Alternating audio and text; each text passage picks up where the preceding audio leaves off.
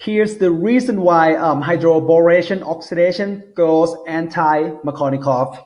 All right, so the regular hydroboration oxidation goes like this. So there's an alkene. We have the, the less substitute carbon and the more substitute carbon.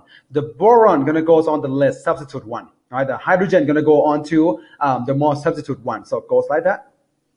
Right, so boron goes here, hydrogen goes here. And then uh, uh, we do um, the oxidation, remove, bor uh, remove boron. So you got OH there. Okay, this is an anti-Markovnikov product. How come boron doesn't go the other way around? So borons go on to the um, uh, more substitute carbon. Here's the reason why. This guy is seriously hindered. There's just a lot going on in here. I got a methyl group. I got could be some other alkyl, uh, alkyl group. Could be something else on onto this side too. When boron gets close, it's not that stable. Right? So borons will never go on the more substitute carbon because of uh, the steric hindrance and go on to the Markovnikov product. So it won't go this way. All right.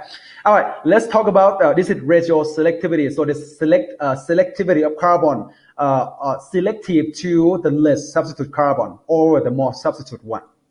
Next one, we're going to talk about the uh, stereo specificity, uh, which which, which is called syn addition. All right.